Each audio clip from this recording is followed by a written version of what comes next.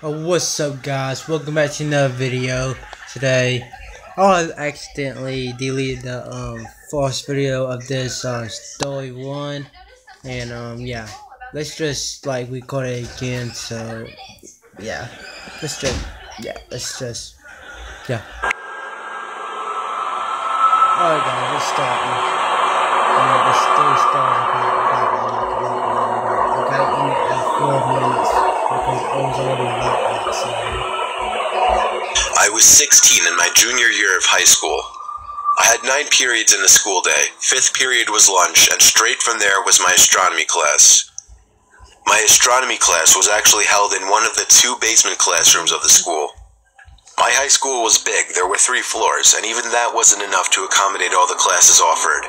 So the school built two classrooms in the basement. creepy It was honestly kind of creepy down there when nobody else was around. It used to be a janitorial area. However, it was remodeled to better resemble a typical hallway. The only thing, there were no intercoms or loudspeakers down in the basement at that time. For that reason, no classes were held down there first period for the morning announcements. Everyone referred to this little section of the basement as the chamber, and everyone always tried to get classes down there just because it was air conditioned and the classes were typically easier. Plus, it had its own bathroom down there. We had a quiz in astronomy that day. Usually, I was one of the first done just because I found the class easy. After I finished my quiz, I texted my friend who was in the other basement classroom to meet me in the bathroom because I was bored. He told me okay.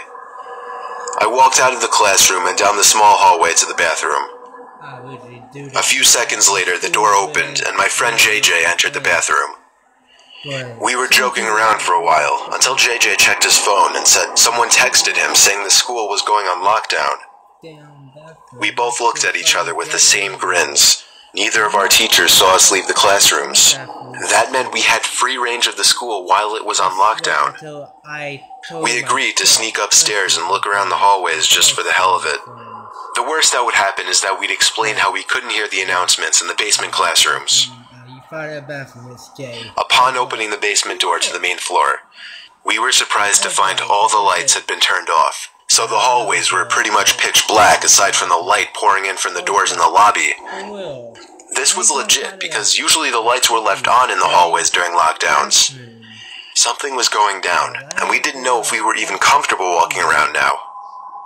JJ stepped out a little further into the hallway, and I followed suit. JJ then looked down the hall and said, Who's that? I looked, and emerging from the darkness was a man. At first, we couldn't tell if he was a teacher or not, but as he got closer, we realized this guy wasn't dressed at all like any staff member. He was dressed like a bum. Alright, let's go, I told JJ as we hurried back down to the basement. He surely saw us, whoever he was.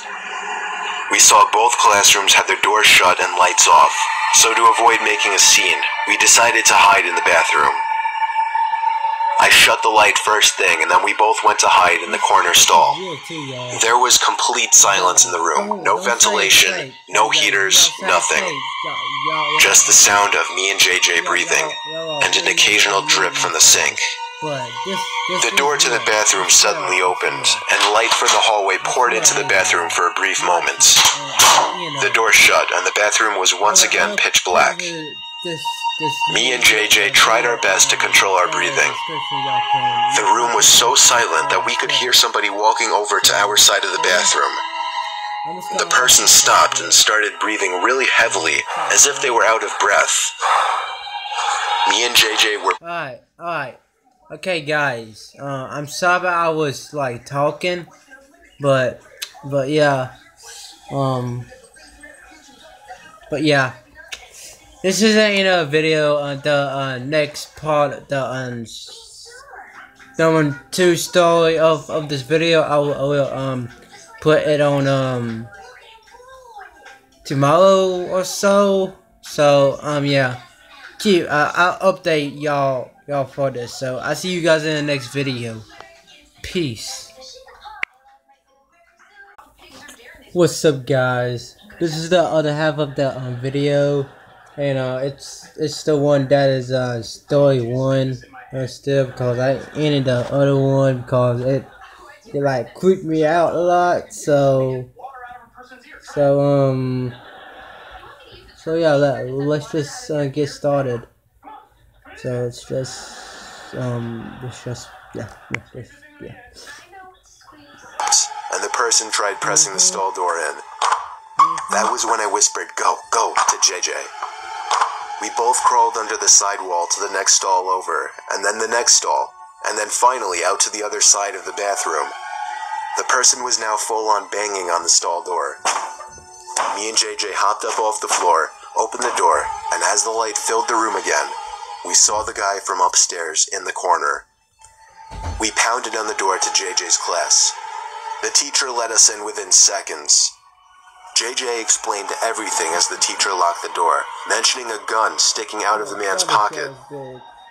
I was shocked to hear this because I didn't see a gun, but I went along with it anyway. Usually, a bunch of high school students would be laughing their asses off at two students causing a scene like this, but I noticed all the kids sitting in the corner looked concerned. A sudden bang at the door made everyone jump, and a couple of girls squeal out of fear. JJ, the teacher, and I could see the man standing at the door, looking through the window while trying the doorknob.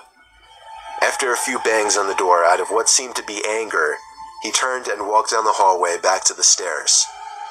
We don't know how much longer the lockdown went on for, but for over an hour we sat in silence in the room, other than the teacher occasionally asking me and JJ questions in a very concerned tone, shaking his head after everything we would tell him. Eventually, somebody from upstairs called the teacher and he instructed all of us to single file walk up the stairs and out of the building, where we would be greeted by cops. Me and JJ did the best we could at describing the man to the cops and to the dean. One of the cops patted me on the back and we were sent off to go home. After this incident, the school installed cameras everywhere and ramped up the security budget. This incident never got media attention, so honestly, we never found out if police caught the guy. I'm convinced that man had no other intentions but to kill us then and there in that bathroom stall.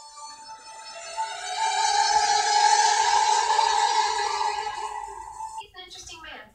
Yeah, I never knew a hot dog place could be called a wienery.